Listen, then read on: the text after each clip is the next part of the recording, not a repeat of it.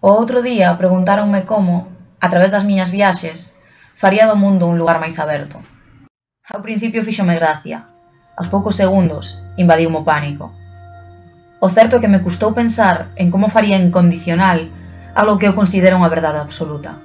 O mundo é un lugar aberto. Non te comportes como unha nena, Nuria, xa eres o suficientemente maior. En esta frase, que tantas veces tiven que escoitar pola miña maneira de soñar e de creer que o mundo pode ser jodidamente maravilloso se todos aportamos o noso graniño de area para melloralo.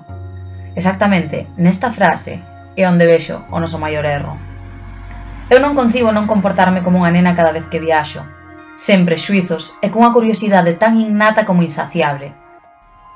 Negoma a desterrar a mentalidade de que non existe nin o bo nin o malo. Só diferentes puntos e eu quero probalos todos. Aprender con experiencias e sen medo, viaxar e vivir desta maneira. E que se perdo ou sufro, sexa porque eu mesma me peguei. E se me doiu, tranquilos, que non volverei a meter as miñas mans aí. E se valiu a pena, seguireime arriscando a pegarma tantas veces como poida. De xogar vai a cousa, e recordo vos que o medo non era parte do plan.